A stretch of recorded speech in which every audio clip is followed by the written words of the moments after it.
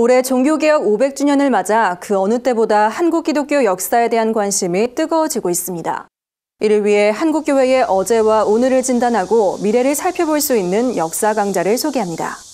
양화진 문화원은 오는 9일부터 이달 말까지 매주 목요일마다 지난 100년 한국교회가 걸어온 길 성찰 회개를 넘어 개혁으로란 주제로 강좌를 개최합니다.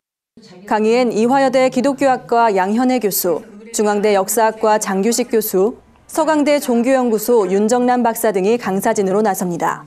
총 4차례에 걸쳐 진행되는 역사 강좌는 식민지 시대 한국 개신교의 기억과 한국 전쟁, 그리고 전쟁 이후의 한국 교회에 관해 이야기할 예정입니다.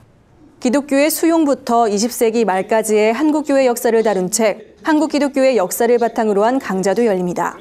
한국기독교 역사연구소는 한국 기독교의 역사 속에서 길을 찾다란 주제로 오는 21일부터 5월 16일까지 매주 화요일 3일 교회에서 강의를 실시합니다.